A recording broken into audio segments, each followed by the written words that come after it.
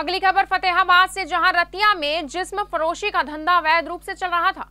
इसकी सूचना रतिया शहर पुलिस को मिली और पुलिस को यह सूचना मिली थी कि फतेहाबाद रोड पर एक मकान में पिछले कई दिनों से इस जिस्म फरोशी का धंधा चल रहा था।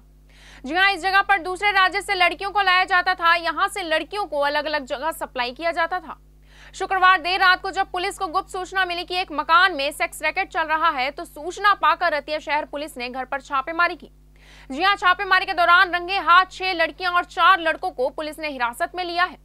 वहीं जब इस सेक्स रैकेट की सूचना मीडिया को मिली तो मीडिया ने पहुंचकर मौके की कवरेज करनी चाहिए तो डीएसपी धर्मवीर पुनिया ने कवरेज करने से साफ़ मना कर दिया। जी हाँ पूरे मामले की जानकारी के बारे में डीएसपी धर्मवीर पुनिया ने बताया कि उनकी टीम को कई दिनों से इस जिस्म फरोशी के धंधे की सूचना मिल रही थी, जिसके चलते आज यहाँ छापेमारी कर देव व्यापार के धंधे का फोड़ किया गया।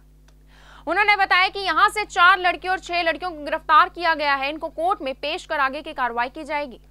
जेबीडी बैंक लाए हैं। Incredible marriage palace Rajgharana and the finest banquet hall Jyoti garden world class catering centrally air condition lush green lawns state of the art lightning a perfect venue for wedding launching and parties Rajgharana and Jyoti garden and JBD banquets enterprise ऐसे ही latest खबरें पाने के लिए bell icon को click कर हमारे channel को लाइक, शेयर एंड सब्सक्राइब करें। धन्यवाद।